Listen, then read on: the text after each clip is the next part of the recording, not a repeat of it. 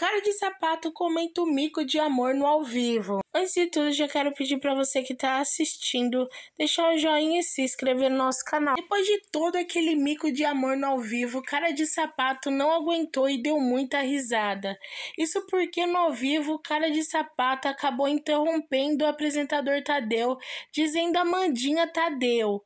Depois disso, ele ficou totalmente sem graça, ele ficou tão sem graça que colocou até a mão no rosto para esconder a vergonha. Mas depois de tudo isso, ele deu muita risada no quarto deserto. Não só ele, mas Amanda que estava vendo tudo que ele estava falando sobre ela. Fred também deu muita risada dizendo que na verdade o apresentador Tadeu entendeu tudo que cara de sapato estava querendo dizer e que na verdade depois ele riu muito sobre isso. Cara de sapato disse que não aguentou e falou a Mandinha Tadeu.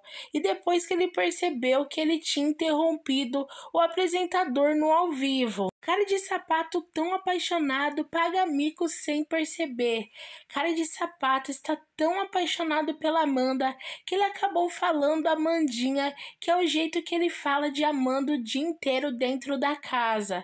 E ele resolveu falar isso no ao vivo, mas a verdade eu acredito que ele falou meio alto. Depois ele percebeu que na verdade ele tinha interrompido o apresentador Tadeu no ao vivo. Isso porque ele não está conseguindo esconder o quanto ele gosta gosta da Mandinha e por isso ele conseguiu interromper o próprio apresentador no momento do ao vivo, demonstrando sim o quanto ele gosta dela e o quanto ele está super apaixonado por Amanda.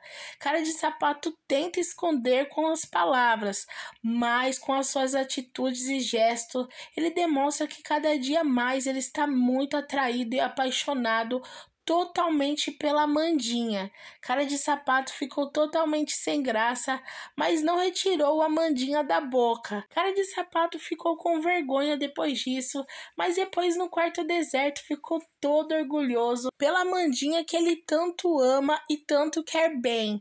Deixa aqui nos comentários o que, vocês acharam sobre a atitude de cara de sapato no ao vivo. Depois ficar comentando o assunto no quarto deserto do lado da Amanda. Se gostou do nosso vídeo, vídeo, se inscreva no nosso canal e ative o sininho para receber todas as notificações de vídeos novos que virão.